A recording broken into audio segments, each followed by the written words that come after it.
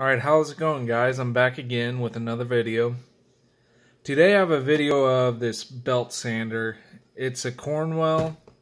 I bought this about a month ago and I really like it. It works great. Um, I like it better than I have a short Mac one here. I think this is a 13 inch by 3 8 This is the first one I bought and I wish I didn't buy it. It was way overpriced. I got it off the Mac truck. It was like 300 bucks and I had to have it at the time.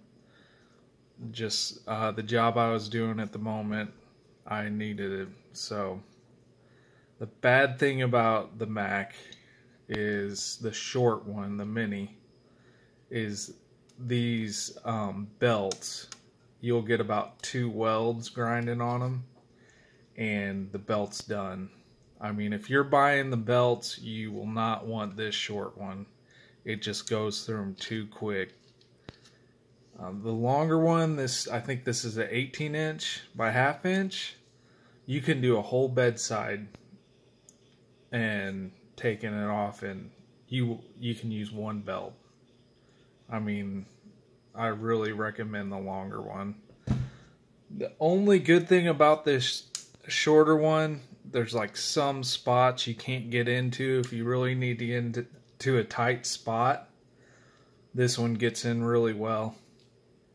And this is adjustable, this uh, Allen right there. You loosen that up and this can adjust any way you want.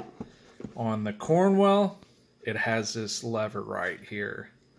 And I absolutely love that. I mean, you could put it whatever way you want. And just tighten it back down. And you could reach in there and I mean, for some tighter spots, this won't work, but since I've had this, I absolutely love it. It has a um, regulator, air regulator, right on the back. You can slow it down or speed it up.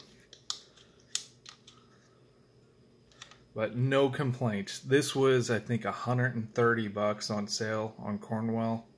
I recommend it. I mean, you can't get online and order one for that. Much cheaper anyway. But I would definitely go with the Cornwell. It's it's real useful. The thing about these belt sanders over a grinder, you don't have to worry about sparks. These don't throw off that much sparks. I mean, you can really get technical and with the pressure and everything. Whatever you're grinding, I recommend these. Um, once I got one, bought one, uh, I won't go back.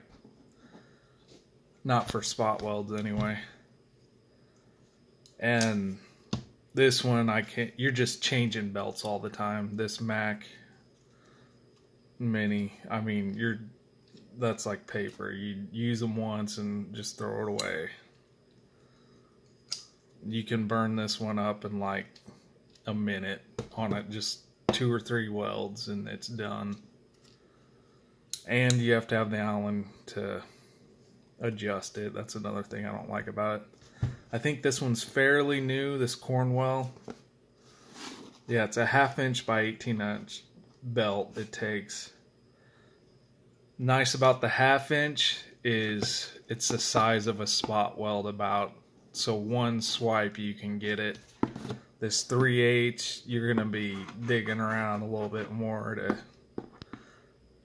to grind out the spot welds but you don't have to worry really worry about glass when you're doing the metal. If there's a window close or you're doing a quarter or anything i highly highly recommend this. Um, uh, guys if you have any questions about any of these tools or anything i didn't explain feel free to hit me up email me or comment below. Um, hit the like buttons if you like the videos and I'll try to do some videos where I'm actually using the thing. I have a few projects that I can do and just show you a little more in depth how well these work. But I recommend them. So, um, yep, if you have any questions, just hit me up. I'll get back to you. And thanks again. Subscribe. And I'll see you in the next video. Thanks. Bye.